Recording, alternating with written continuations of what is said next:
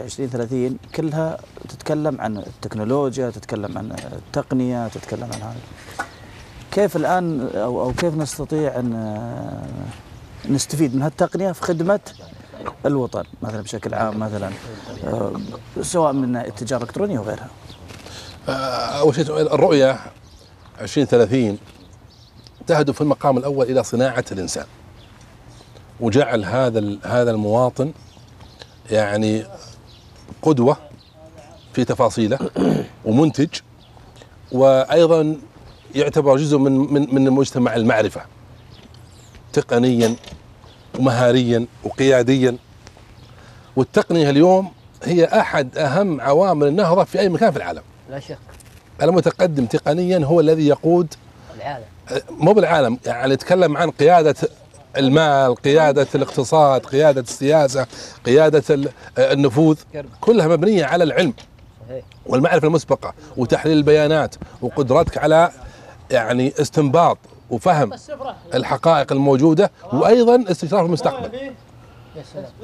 فاليوم التقنية اتاحت لنا المعرفة هذه كلها وسهلتها علينا وأصبح سهل جدا على الإنسان إنه يعرف ماذا حدث وكيف حدث وكيف لو تكرر هذا الأمر ما الذي قد يحدث.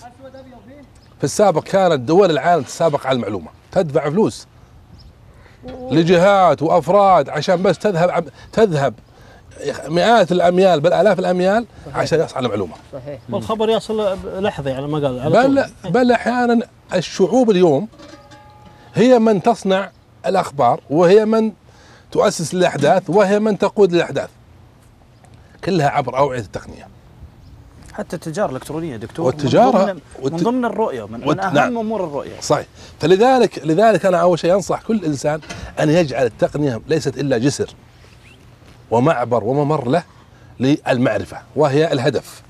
هدفي من التقنية ليس فقط أعبي جوبي منها. يعني الاستغلال الجيد. استغلالها استغلال جيد وإيجابي ومفيد مثمر. فأنا أقول اليوم كل واحد عنده أنت عندك مشكلات رجاء جزاك نبي, نبي, نبي ذوق عالي في هالمجال فحط لك قناة على اليوتيوب ونزل لك صفحة على الفيسبوك. واللي ما يعرف إيش زي. وأف بيعرف. في ألف واحد يعرف. ما يعرف. أنا والله ما عندي لا قناة ولا شيء. أبى اعلمك معلومة. ياخذون من أنا أنا لي لي لي, في لي, لي في. قضايا الشعر ولا واهتمام يكون شخصي يكون؟ وأيضا له علاقه بمجموعه من المنشدين. هو ما يعرف. لكن صوته جميل أداءه جميل. فيه من من يعني شريحة أو فئة من الناس تقول لا تتعب. أنا عندي الاستوديو. أنا خدمك. وعندي القنوات بفتحها لك. وعندي تصاميم اللي تحتاجها. لكن أنت عط جزء من وقتك لهالفئة من الناس اللي تخدم المجتمع.